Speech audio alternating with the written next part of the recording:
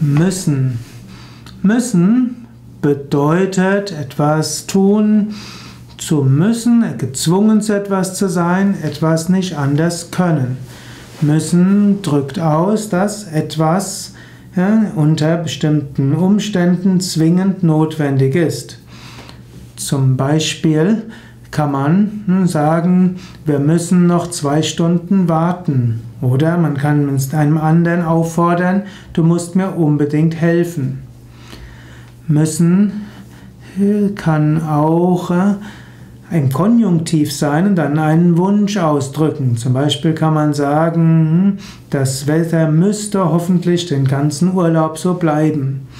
Müssen wird aber allgemein verwendet, um etwas auszudrücken, was nicht anders sein kann.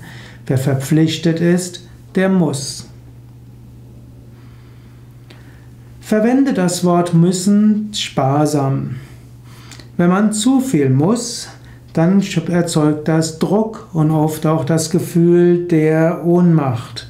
Menschen wollen selbstwirksam sein, Menschen wollen selbstverantwortlich sein. Menschen wollen nicht ohnmächtig sein und nicht fremdbestimmt sein.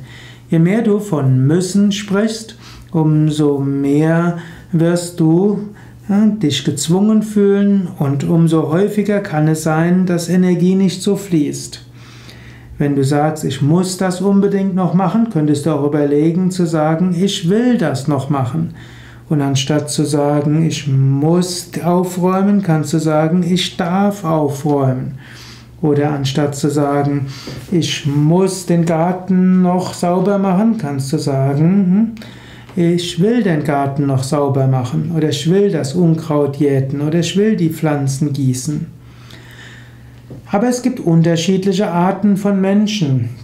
Es gibt Menschen, die Regeln lieben und denen hilft es, wenn sie sagen, ich muss das und das tun. Wenn man das machen muss, dann tut man es eben. Und so meine ich nicht, dass alle Menschen das Wort müssen nicht mehr sprechen sollen.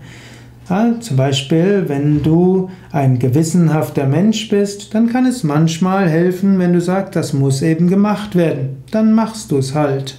Du musst nur aufpassen, dass du nicht zu viel musst. Denn wenn ein gewissenhafter Mensch zu viel muss, dann kommt er unter Stress.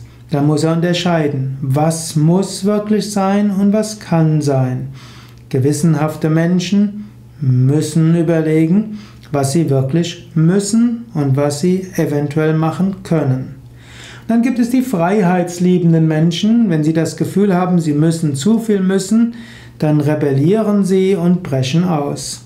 Gerade freiheitsliebende Menschen hm, haben es lieber, wenn sie sagen, ich darf das tun oder ich will das tun. Man könnte auch sagen, Pitta-Typen hm, wollen gerne sagen, ich will das tun. Äh, Vata-Typen sagen vielleicht, ich darf das tun. Und Kapha-Typen werden gerne sagen, ich muss das tun.